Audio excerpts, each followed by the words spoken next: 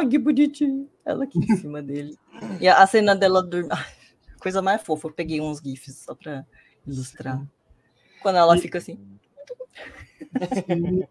E, e, é até muito bonito porque ela é a primeira a encontrar o Totoro, porque tem muita questão da inocência também. A criança mais nova, e ela que meio que convence a irmã dela daquilo, né? é. né? Tipo, a gente vai vendo ela insistindo, então é como se. E aí a criança, mesmo um pouquinho mais velha, ainda é mais propensa a ver, né? Tem uma senhorinha logo no início do filme que fala sobre os coelhinhos de poeira para elas, né? E é outra uhum. coisa que eu acho muito bonito dela falar que, ah, quando eu era criança eu via. Então, o filme sempre volta a isso, sobre ser criança, né? É verdade. muito bonito.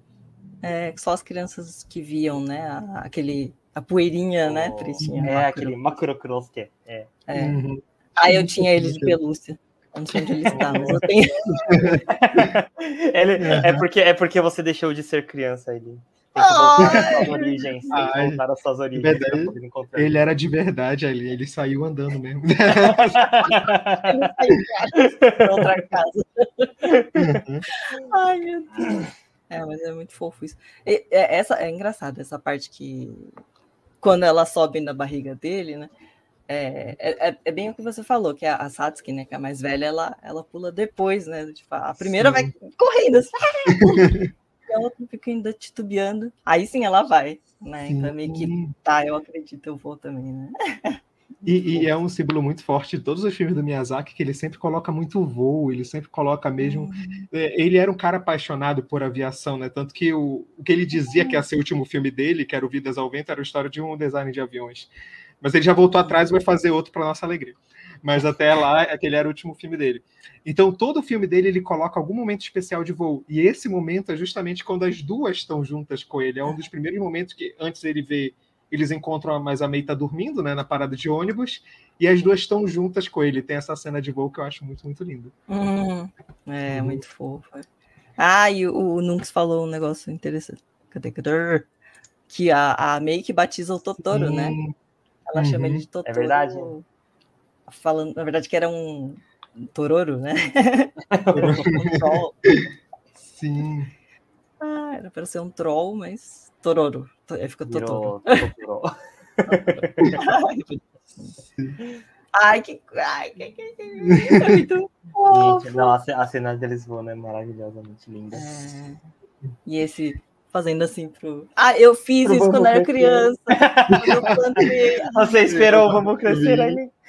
É, não, eu fiquei lá fazendo assim, mas aí não, não subiu. Deu errado. É, não sei nem se cresceu, mas.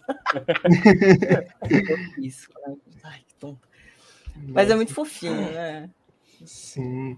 E, e eu acho não, é, eu, eu fico imaginando, tu que viu como quando criança, né? Que eu não tive essa oportunidade, veio um pouquinho depois, né? Mas eu fico imaginando o quanto esse filme seria forte mesmo na, na infância, né? Tipo, porque ele é muito isso, é muito, muito lúdico, ele é muito bonito. Eu acho muito, muito perfeito esse filme.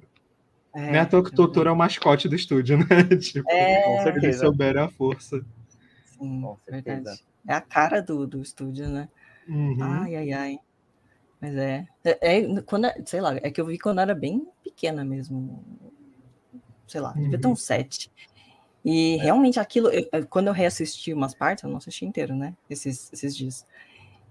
E eu, aí eu voltou todo aquele sentimento, né? De nossa, eu, eu me colocava dentro do filme. Eu me, eu me sentia lá com eles. Era, era, muito bizarro. E aí eu terminava o filme, eu tinha que ver de novo. Você tinha que ter o seu reencontro com o Totoro. É, e, e, eu queria muito um dia subir na pança dele, assim. Eu ficava viajando assim, na maionese. E as cenas que eram mais de, de, de drama, né? Aquela correndo e tal, as cenas, né? Quem, quem já viu já sabe como que é. Aquilo era tão forte para mim que eu, eu chorava junto, ficava lá, mas eu sabia que ia dar certo. E mamãe... Acho que se você tivesse assistido, se tivesse assistido quando era criança, você ia, nossa, você ia ter uns insights muito, muito fortes, assim, do jeito que você é. é ainda mais do que você já tem. É, ainda tem. Nossa, mas a primeira cena que ela chora sobre a, na ligação do hospital, né, sobre a mãe, eu acho hum. muito forte, muito forte para criança mesmo, sabe?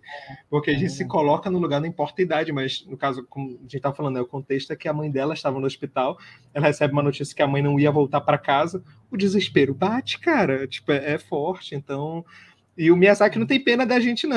Esse é o papo. Ele tem uma coisa fofinha para dar um tapa na cara, normal. É, é, nossa. E é bem, é bem isso mesmo. É, é muito fofo. Aí quando você falou isso aí, que Totoro vem como uma forma de brincadeira para deixar leve. Uhum. Nossa, exatamente isso. É Sim. Dá um presentinho. E é engraçado Sim. que assim, depois de uma leveza, a qualquer as cenas mais fofas, assim. Aí vem uma coisa pesada em seguida. Sim. Deixa, nunca deixa em paz, assim. Verdade. Ele Não, dá, essa traz uma sequência, chuva... né, de alívio e tensão o tempo inteiro. Uhum. O tempo todo, verdade. Não, essa cena da chuva, inclusive, eu não lembrava o quanto ela era longa. E propositalmente, né? Tipo, a, ele faz isso pra gente ficar agoniado. Cadê o ônibus é, daquelas agoniado. meninas?